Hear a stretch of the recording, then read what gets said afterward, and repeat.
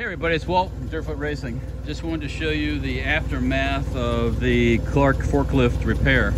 I had this whole front wheel assembly apart, did repair the brakes, replace seals, got that all back together, and uh, she's running. So I wanted to just kind of give you a little overview of the Clark forklift. Kind of, this is a, a 60s vintage, mid 60s vintage uh, model.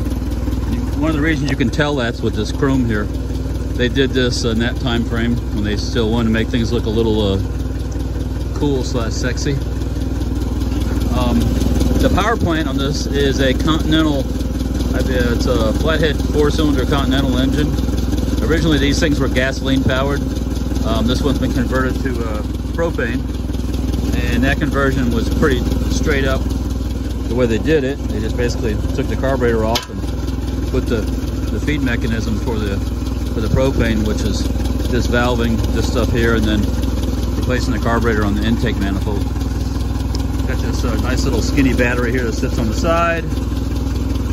Over on the back side here, other side I should say, and we'll pop this side open. There we got the air filter, uh, the intake manifold, exhaust, exhaust pipe coming out. Uh, you can see the spark plug down in there. Got an hour meter for that, and this forklift was modified by Clark for the propane part at some point, went to the factory, so they added the, the hour meter and keep track of things. You can see from the from the data plate right there. It uh like I said, I was it was given to me. We had to redo this back um, propane tank mount because originally the way they had it set up, you couldn't open the the rear cover with the tank on. It was it would interfere with it, so we took that apart, we welded it, cut some new pieces of metal, got it back together. Um, but yeah, it's a handy little forklift, you know, compact size. Um, so we're uh, getting ready to actually uh, accept the delivery here, and I'm going to actually use it for the first time. But um, supposedly, the story was I read that this Continental engine, this four-cylinder, was one of the engines they used in the original Jeep uh, prototype for the Jeep back World War II vintage. And then they didn't use that that engine. They went with the Willys engine, uh, a different design.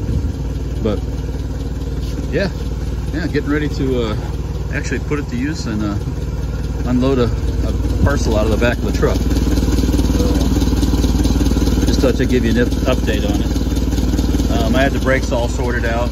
It actually has brakes, uh, which it didn't have before. Most of the gauges are working some reason the temperature gauge is not at this point. I don't know if it's just like stuck or the other gauges.